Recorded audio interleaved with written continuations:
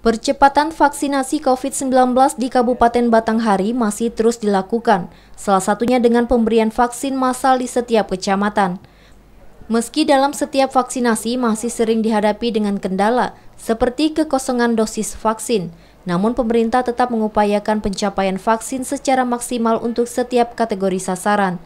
Juru bicara Satgas COVID Batanghari Amir Hamzah mengatakan, saat ini hampir semua kategori sasaran realisasi vaksin COVID-19 berada di atas 50 persen. Salah satunya vaksin kategori remaja berusia 12 sampai dengan 17 tahun.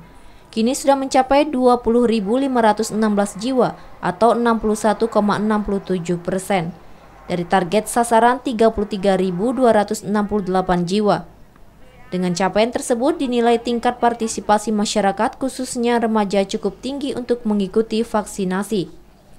Alhamdulillah partisipasi masyarakat untuk mengikuti vaksinasi di Kabupaten Batanghari ini sangat tinggi. Antusiasnya luar biasa. Berarti mereka sudah menyadari akan kebutuhannya uh, untuk mereka sehat. Memang cara pencapaian target kita sudah lumayan bagus nih. Nah, karena kita tergantung distribusi vaksin dari pihak provinsi. Dengan distribusi vaksin, sepanjang provinsi menyalurkan vaksin kita, itu akan kita vaksin. Tim Satgas COVID-19 berharap masyarakat yang belum divaksin untuk dapat mengikuti vaksinasi di wilayah yang dekat dengan tempat tinggalnya, sehingga target sasaran vaksin hingga akhir tahun 2021 ini bisa tercapai. Ade Juniawan, TVRI Jambi melaporkan.